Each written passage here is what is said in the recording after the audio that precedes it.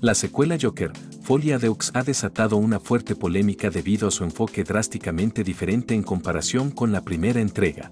Si bien la película original fue elogiada por su representación de la alienación social y los problemas mentales, la secuela ha sido criticada por alejarse de ese tono.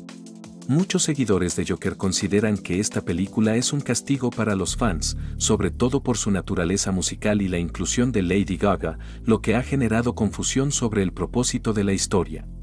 La trama parece destruir al personaje de Arthur Flack, en lugar de desarrollar su ascenso como el villano clásico de los cómics, lo que ha molestado a quienes esperaban una continuación fiel a la esencia original del personaje. Esta controversia ha dividido tanto a la crítica como a la audiencia, que esperaba más continuidad con la primera película. ¿Ya viste la película? ¿Cuál es tu opinión?